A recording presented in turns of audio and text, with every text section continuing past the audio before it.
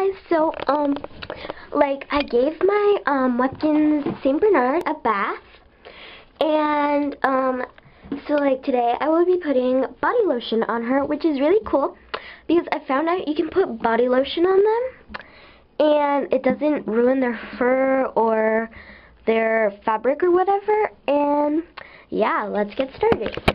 So, like, I'm going to be adding a bit, just a bit on her head and spread it out from there.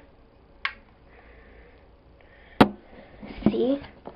Right there. What it takes to come alive.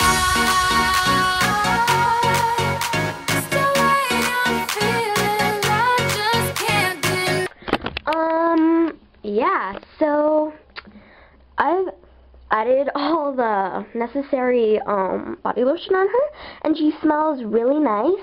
You have to let them dry so they like smell like that, and then yeah. So thanks guys for watching.